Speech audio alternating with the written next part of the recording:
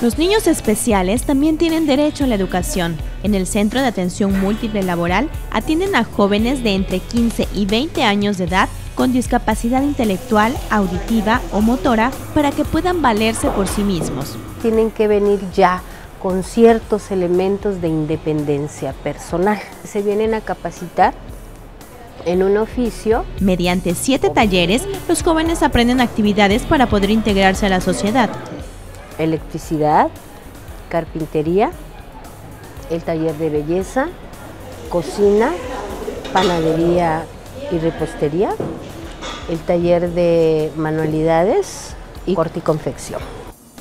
El objetivo es que después de sus cuatro años de capacitación tengan las herramientas necesarias para colocarse en un trabajo como ayudantes de algún oficio. He visto mucho avance en ellos, ya trabajan solos, ya seguían por receta. De hecho, aquí venían todas las mamás y yo voy tratando de irlos a hacernos más independientes. Nos interesa que ellos sean aceptados como una persona más en, en alguna algún negocio, empresa? Primero pan en computación, en corte confección. Este es un pan que se llama Trenjitas.